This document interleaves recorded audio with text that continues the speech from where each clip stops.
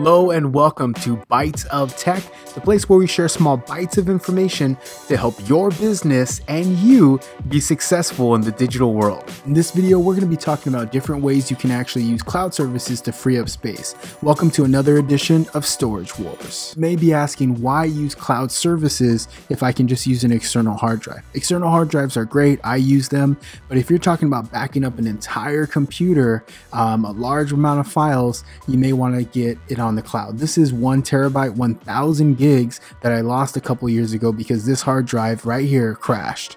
Ever since that happened, I've been very interested in cloud services, and there's a lot of different solutions and a lot of different options based on what works best for you. I'll put a link to all the different cloud services that I'm describing in this video in the description below. Most of them come with different pricing structures. So some of them start free or most of them start free. I use, I'm signed up for almost all of these here that you see. That's something that you may want to consider is actually trying one or two out and seeing which one works best for you. So uh, around $10 a month gets you about a thousand gigs on uh, each of these platforms and some of them come with different perks and different integration models. And so if you're uploading photos and things like that um, Microsoft OneDrive and Google Drive work really great with that. Dropbox uh, it's a well-known brand that type of thing. Um, if security is an option if you're using this for business I'll say you want to use Box uh, that's just Box by itself. One cool thing about cloud services just in general is that you can actually access your files from anywhere. So from your mobile device, from your iPad, from your desktop. So that's one cool thing about cloud services to consider. So we've talked about the cloud services and those are great and what they're going to do is free up space and then help you if your hard drive crashes. The other thing to consider is actually thinking about a backup solution. So the backup solution that I chose was actually called CrashPlan and there's other ones out there called Backblaze as well as Carbonite.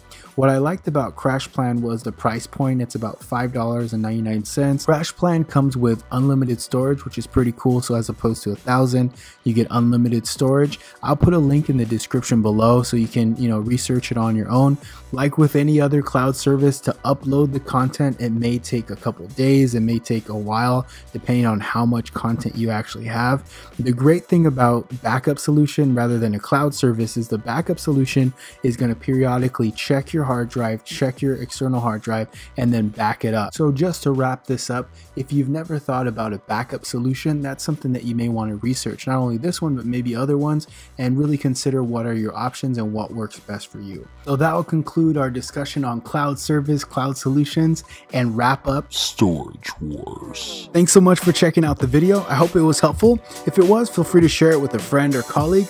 Do me a favor and swing by my website at www.digitaldom.com and connect with me on social using all the links below. And stay blessed.